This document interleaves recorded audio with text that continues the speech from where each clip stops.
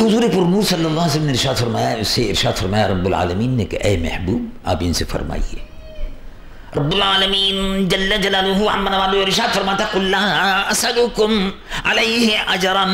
मैं अपनी तबलीग पर तुमसे पैसा नहीं माँगता।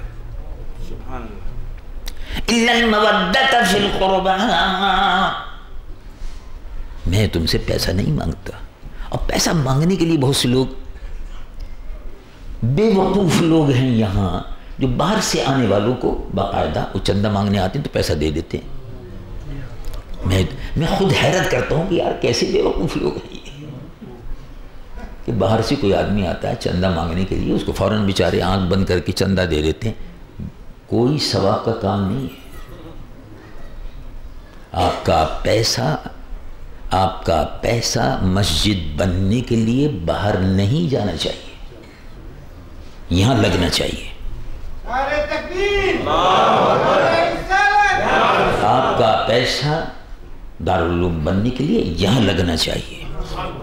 आपका पैसा दीन की खिदमत के लिए यहाँ पहले लगना चाहिए। अब सर फ़र्ज़ कर लो एक आदमी पाकिस्तान से आया उन्होंने कहा कि मुझे पाकिस्तान में मस्जिद बनानी है अच्छा एक बड़ी खुशी की बात है। अल्लाह ताला आपकी नीयत में आपके माल में बरकत दे, बनाओ भाई। कहा, नहीं, मैं तो मस्जिद के लिए चंदा करने आया हूँ, पाकिस्तान से। तो पचास हज़ार रुपये का टिकट उन्होंने खर्च किया। कभी आपने इसका हिसाब किताब लगाया? पचास हज़ार रुपये का आने जाने का टिकट उन्होंने खर्च किया और मस्जिद बनाने के लिए यहाँ आए। यहाँ मुसलमानों की तादाद है। नाम पाकिस्तान, हिंदुस्तान के मुसलमानों की मिलकर तादाद एक लाख है। ज़्यादा ज़्यादा। एक लाख है। तो एक लाख मुसलमानों से मस्जिद के लिए चंदा मांगने को पाकिस्तान से एक शख्स आया। कितने मुसलमानों को छोड़ के आया?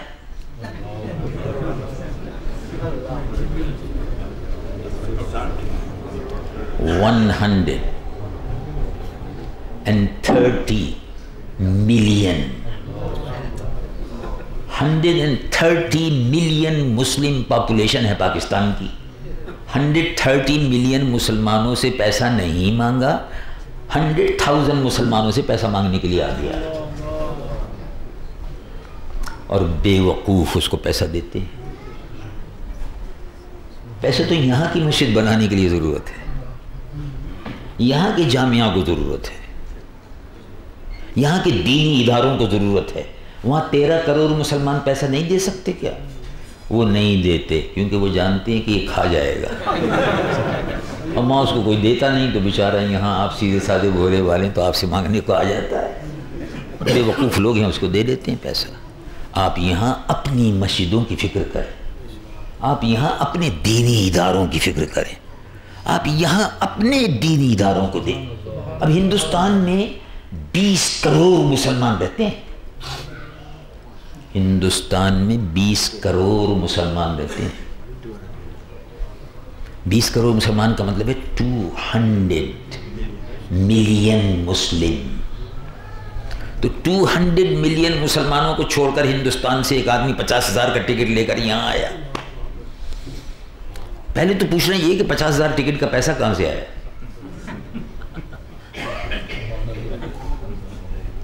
वो 200 मिलियन मुसलमानों को छोड़कर यहाँ एक हंड्रेड थाउज़ेंड मुसलमानों से पैसा मांगने हिंदुस्तान से आ गया। हिंदुस्तान में भी माशाल्लाह मुसलमान हैं, मस्जिदें बना रहे हैं, अल्लाह के नाम पर पैसा खर्च कर रहे हैं।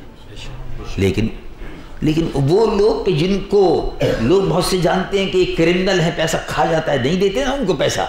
क्योंकि अब हिंदुस्तान में उनको पैसा नहीं मिलता, पाकिस्तान में पैसा नहीं मिलता तो यहाँ मांगने के लिए आ जाते हैं। अब सीधे साधे भोले भाले लोग हैं, आप उनको दे देते हैं। तावीज़ के नाम पर, मदरसे के नाम पर, चंदे के नाम पर, मस्जिद के नाम पर भोले भाले मुसलमान बेचारे दे देते हैं। बहरल तो दरमियान में एक बात आ गई थी। इसमें बहुत से लोग नाराज़ भी हो जाएँगे। बहरल जाने, नाराज़ हो जाए, उनकी मर्ज़ी है।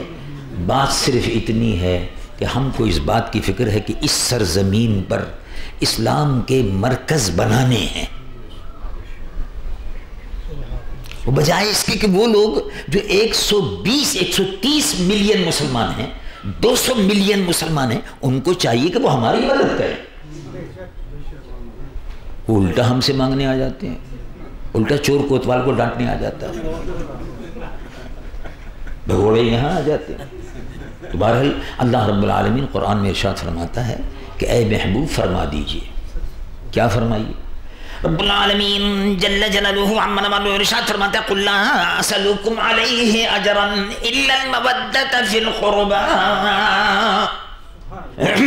मैं तुमसे कोई अजर और मुआवजा अपनी तबलीग का नहीं माँगता। कि लाओ, पैसे दो। मैंने वाज कहा है, पैसे दो। तबलीज लिखा है, पैसे दो। नहीं, कोई मुआवजा तुमसे नहीं माँगता, मगर मैं एक बात चाहता हूँ कि तुम मेरी औलाद से तुम मेरे ख़ानदान से, तुम मेरे कराबतदारों से, रिश्तेदारों से मोहब्बत रखना। रसूलुल्लाह ने कोई मुआवजा नहीं मांगा, मगर बात यह है कि जिस तरह से आप रसूलुल्लाह से मोहब्बत करते हैं, ऐसी उनकी औलाद से भी मोहब्बत करें। सादाती कराम हमारे सरदार हैं।